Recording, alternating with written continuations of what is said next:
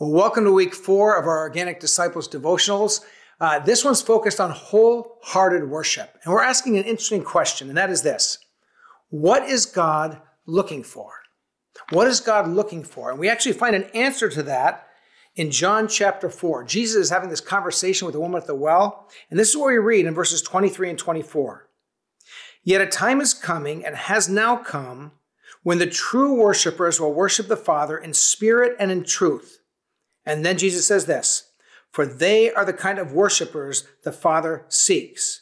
God is spirit, and his worshipers must worship in spirit and in truth. God is all powerful and all knowing. If you study the whole Bible, you don't find God looking for or searching for very many things. But one thing God is seeking is people who will worship him. The heart of God Almighty is longing for people who will come into his presence and worship him with their whole heart.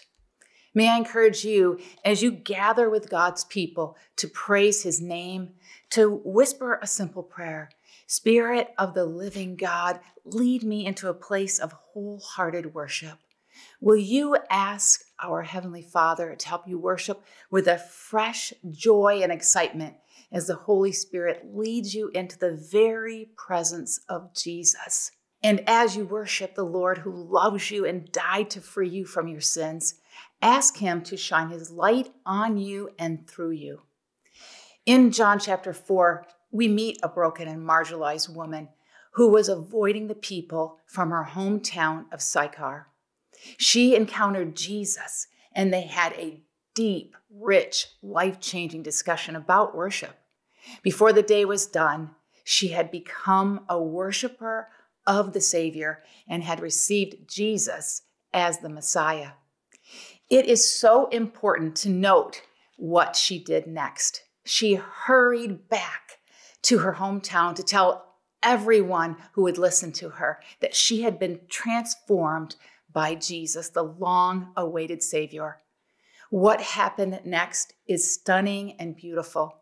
Many people place their faith in Jesus because of her bold testimony. Then even more followed Jesus as they came to meet him face to face. When we truly encounter Jesus as the one worthy of all worship, we are moved to tell others about the one who loves them and deserves their praise and adoration. Each time you worship Jesus, in a crowd or when you are alone. Think of those who you know that have never bowed their knees or heart to the Savior. Then pray about how you can share the love of Jesus and the truth of Jesus with these people. Hmm. Let's pray. Jesus, we have met you. We have seen your face. We've been transformed by your glory. We worship you. And as we do, would you grow within us a longing for those people we love and care about who have not yet seen your face. A longing that they would know you, that they would follow you, that they would seek your face, they would see you and bow down before you. And Lord, we pray that one day they will worship you too. And as they do, they'll go out and share your love with the world just like we're going to. We pray this in your name, Jesus. Amen. Amen.